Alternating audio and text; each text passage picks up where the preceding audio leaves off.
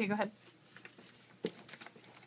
I'm gonna run a jogathon for fourth grade. In my class, we're gonna try to at least run 15 or more laps. So we get money if if we uh, jog each lap. Each say like if you give me 25 cents per lap, like if I do at least 20 laps, you give me uh,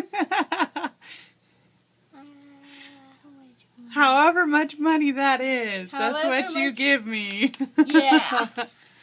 Say, so I'm. What are you collecting money for? What does it go toward?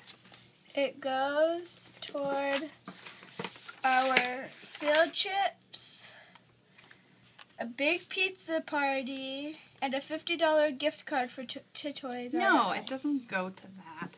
It goes toward assemblies, your iPad program, field Field trips, trips, and student, student and teacher teacher needs. The person who earns the most money gets the pizza party and the gift certificate. That's not what it goes toward. So say, will you please donate some money to me? Will you please donate your money to me? I love you. I love you. Bye bye.